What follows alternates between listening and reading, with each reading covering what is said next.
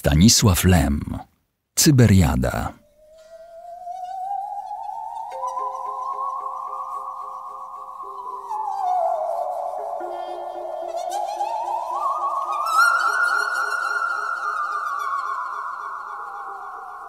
Przez dwa tygodnie wprowadzał Trurl do swego przyszłego elektropoety programy ogólne. Potem przyszło strojenie obwodów logicznych, emocjonalnych i semantycznych. Już chciał prosić Klapaucjusza na próbny rozruch, ale się rozmyślił i puścił maszynę wpierw sam wygłosiła natychmiast odczyt o polerowaniu szlifów krystalograficznych dla wstępnego studium małych anomalii magnetycznych.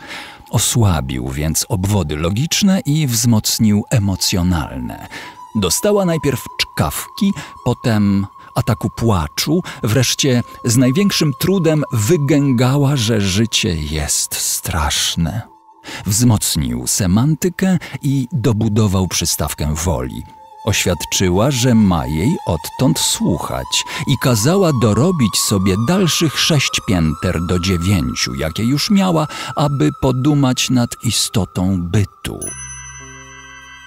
Wstawił jej dławik filozoficzny. Wówczas przestała się w ogóle do niego odzywać i tylko kopała prądem.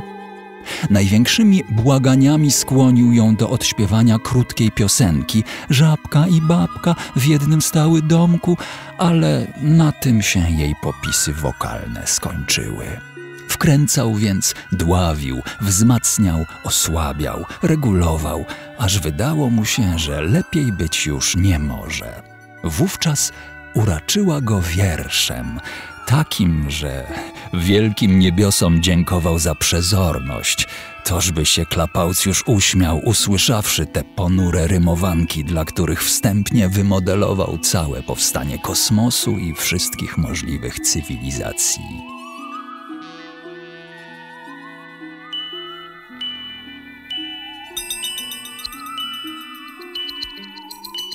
Dał sześć filtrów przeciwgrafomańskich, lecz pękały jak zapałki.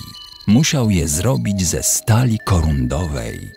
Potem jakoś już poszło. Rozchwiał maszynę semantycznie, podłączył generator rymów i omal nie wysadził wszystkiego w powietrze.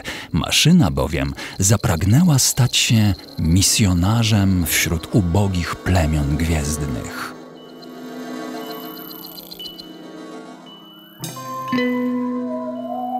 Wówczas jednak, w ostatniej niemal chwili, gdy już był gotów iść na nią z młotem w ręku, przyszła mu zbawcza myśl.